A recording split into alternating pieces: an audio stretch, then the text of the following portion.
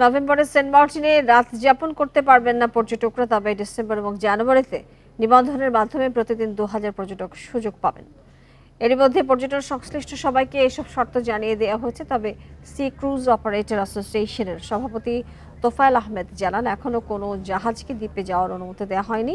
এছাড়া গত বৃহস্পতিবার নৌবাহিনীর জেটি ভেঙে যাওয়ায় সেখান থেকে জাহাজ ছাড়া নিয়েও অনিশ্চয়তা দেখা দিয়েছে। এ নিয়ে জাহাজ মালিকরা বলছেন টেকনাফ সেন্ট মার্টিন নৌ রুটে আটটি জাহাজে প্রতিদিন চার হাজার পর্যটক দ্বীপে ভ্রমণ করেন, কিন্তু সেন্ট মার্টিনে পর্যটক ভ্রমণ সীমিত করায় ব্যাপক ক্ষতি হবে বলে দাবি তাদের।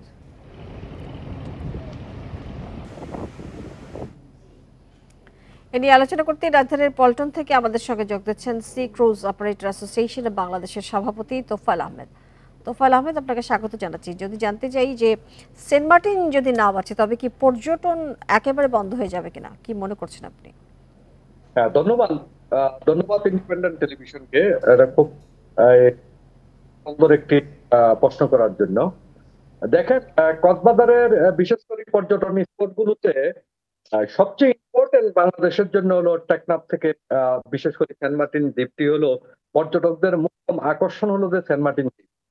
এই দ্বীপে দীর্ঘদিন ধরে আমরা দুইটা, তিনটা থেকে শুরু করে এখন আটটি জাহাজ চলাচল করে, আর কক্সবাজার থেকে দুটি জাহাজ চলাচল করে, আর চট্টগ্রাম থেকে একটি জাহাজ করে, জাহাজ চলাচল করে। আমাদের টোটাল ধারণ ক্ষমতা হলো চার হাজার ছয়শো। ধারণ ক্ষমতা চার হাজার ছয়শোর মধ্যে এটা বিশ্ব শুক্র, শনি, হয়তো পাঁচ থেকে ছয় হাজার পর্যটক সেন্ট মার্টিন যাওয়া আশা করে।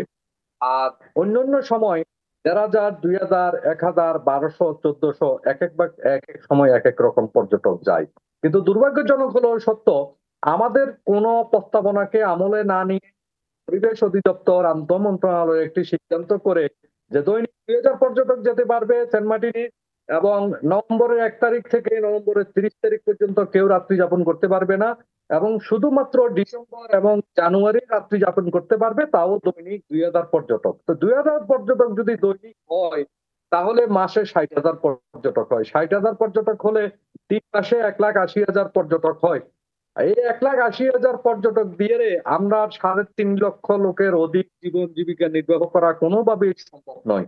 আমরা যে প্রস্তাবনাটা করেছি যে নভেম্বর, ডিসেম্বর, জানুয়ারি যে পরিমাণ পর্যটক যায় অন্তত সেটাকে উন্মুক্ত রাখার জন্য এবং রাত্রি যাপন করবে এবং মার্চ মাস, এক, মার্চের এক তারিখ থেকে এবং মার্চের একত্রিশ তারিখের ভিতরে আমরা পরিবেশ বান্ধব, পরিষ্কার পরিচ্ছন্নতা করে গাছ গাছরা লাগানো থেকে শুরু করে পরিবেশ রক্ষার সাথে যা যা করার দরকার আমরা করব এবং এটার জন্য আমরা জাহাজ মালিকেরা ট্যুর অপারেটররা আমরা দৈনন্দিন পর্যটক থেকে বিশ হাজার টাকা নিয়ে বিশ টাকা করে একটা আপনার নিজস্ব উদ্যোগের কথা বলছেন। সরকার যেসব সিদ্ধান্ত নিয়েছে তাতে কি আসলে দ্বীপের জীববৈচিত্র্য রক্ষা হবে কিনা?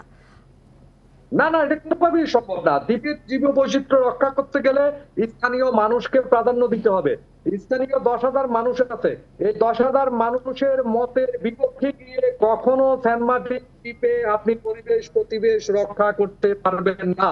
দ্বীপের মানুষ এই মুহূর্তে এই সিদ্ধান্তের জন্য খুশি উঠেছে তারা আজকে সংবাদ সম্মেলন করেছে দ্বীপে বিশাল তারা প্রতিবাদ সমাবেশ করেছে, অবাঞ্ছিত ঘোষণা করছে পরিবেশ। আগামীকালকে শাহবাগে আমাদের অবস্থান ধর্মঘট। আমরা তো এই সিদ্ধান্তকে স্বাগত জানানোর কোন সুযোগ পুরোটাই এই সেন্ট মার্টিন কেন্দ্রিক বলতে গেলেই চলে। কক্সবাজারের পর্যটক কমে যাবে এবং সব পক্ষ থেকে আলটিমেটাম দেওয়া হয়েছে এবং সেন্ট মার্টিন এবং পর্যটন বাঁচিয়ে কি পরিকল্পনা নেওয়া যেত না? হ্যাঁ পর্যটনকে বিশ্বের বিভিন্ন দেশের মতো আমরা সেটাই প্রস্তাবনা করেছি। চার মাস যদি পর্যটক যায় সেন্ট মার্টিনে বাকি আট মাস কিন্তু পরিবেশ প্রতিবেশ রক্ষা করার যথেষ্ট সুযোগ আছে অপরচুনিটি আছে। পরিবেশ- পরিবেশ অধিদপ্তর চাইলে রাষ্ট্র চাইলে এবং আমাদেরকে যদি কোনো দায়িত্ব দেয় সে আট মাসে পরিবেশ প্রতিবেশ রক্ষার জন্য আমরা হান্ড্রেড পার্সেন্ট সদস্য থাকব পরিবেশ প্রতিবেশ রক্ষা করার জন্য। যেহেতু চার মাস আমাদেরকে নিরবিচ্ছিন্ন যদি আহ, সেন্ট মার্টিনে ব্যবসা করার সুযোগ করে দেয় অবশ্যই আমাদের আন্তরিকতার কোনো কমতি থাকবে না আমাদের ভালোবাসারও কমতি থাকবে না এই টিমের প্রতি। তোফাল আহমেদ আপনাকে অনেক ধন্যবাদ। আমাদের সাথে যুক্ত হয়ে বিষয়ে কথা বলবার জন্য।